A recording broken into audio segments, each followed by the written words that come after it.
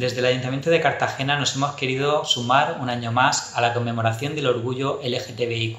con actividades en este caso online y bajo el lema Sororidad y Feminismo, dando un protagonismo especial a las mujeres, un lema que se ha elegido a nivel estatal y que nosotros nos hemos querido sumar en la Concejalía de Igualdad, como digo, con actividades que dan prioridad a las mujeres. Hemos utilizado un cartel además que muestra un corazón, símbolo no solo de amor, sino también de la igualdad de todas las personas. Y en ese cartel se muestran los colores de la bandera arcoiris, la bandera trans, la bandera bisexual y diferente simbología LGTBIQ.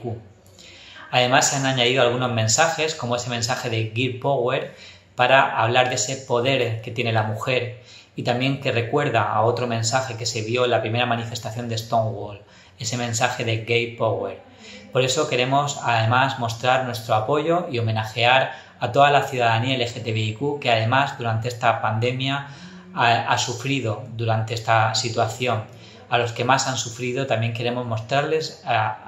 aprovechar esta semana para mostrarles un especial apoyo y decirles que seguimos luchando y que seguimos reclamando derechos, seguimos trabajando además por los derechos de toda la comunidad LGTBIQ